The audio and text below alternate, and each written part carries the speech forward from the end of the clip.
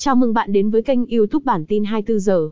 Hãy nhấn đăng ký và like để ủng hộ mình nhé. Cảm ơn các bạn và chúc các bạn có những giây phút thư giãn vui vẻ. Công Phượng trở lại, tuyển Việt Nam sẽ dùng đội hình nào trước Australia? Một loạt trụ cột chấn thương, nhiều cầu thủ khác được gọi lên thay thế, trong đó có cả ngôi sao tầm cỡ như Công Phượng. Đội hình xuất quân của đội tuyển Việt Nam ở trận tới đây có thể sẽ rất khác. Trận đấu giữa đội tuyển Việt Nam và Australia sẽ diễn ra vào lúc 19 giờ ngày 7 tháng 9 trên sân Mỹ Đình. Dân trí sẽ tường thuật trực tuyến trận đấu này. Về tổng thể, huấn luyện viên Park Hang-seo sẽ lại áp dụng sơ đồ chiến thuật 5, 3, 2 và những biến thể của sơ đồ này, giống như trận đấu với Saudi Arabia vừa rồi. Trong khung thành, Bùi Tấn Trường sau khi thi đấu tốt trước Saudi Arabia sẽ có ưu thế hơn so với Đặng Văn Lâm. Vị trí thủ môn là vị trí mà các huấn luyện viên ít muốn mạo hiểm. Thế nên, một khi đã có người thi đấu ổn định ở vị trí này, huấn luyện viên Park Hang-seo không có lý do gì để đi tìm nhân tố khác để thay thế.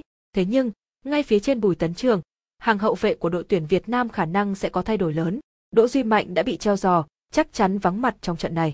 Án treo giò của Duy Mạnh cũng là lý do mà huấn luyện viên Park Hang-seo gọi lại trung vệ Bùi Hoàng Việt Anh, người từng bị ông Park gạch tên trước trận đấu với Saudi Arabia, cũng như bổ sung trung vệ Trần Đình Kha, cựu cầu thủ của Khánh Hòa, hiện đang khoác áo câu lạc bộ Bình Định. Trong số này, Việt Anh là người có khả năng cao nhất để thay vị trí của Duy Mạnh.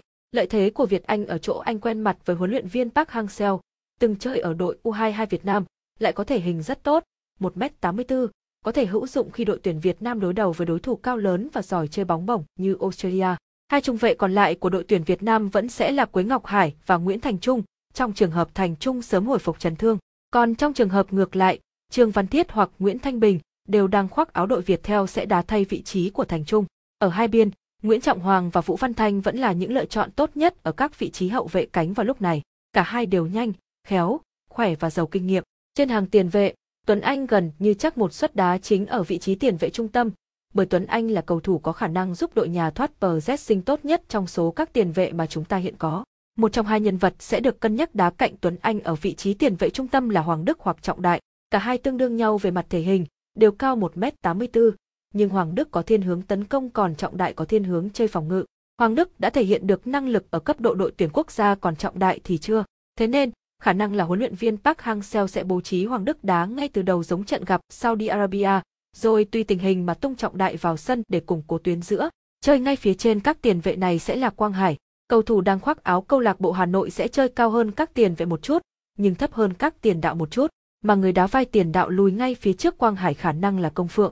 So với Phan Văn Đức ở trận đấu với Saudi Arabia, Công Phượng lắt léo hơn, giỏi gây đột biến hơn và đặc biệt có duyên với các đội bóng Australia. Thế nên, anh sẽ là phương án hữu hiệu trong việc hình thành đối tác trên hàng công với trung phong Nguyễn Tiến Linh. Về đối thủ Australia, cựu huấn luyện viên đội tuyển U19 Việt Nam, ông Hoàng Anh Tuấn đánh giá, Australia là đội bóng rất mạnh, nhất là qua cách mà họ thắng đậm tuyển Trung Quốc đến 3 đến 0, cho dù Trung Quốc sử dụng không ít cầu thủ nhập tịch. Đội tuyển Việt Nam có thể sẽ lại thay đổi về mặt nhân sự trong trận đấu với Australia, do đây là dạng đối thủ có phong cách rất khác so với Saudi Arabia, ông Tuấn nói thêm.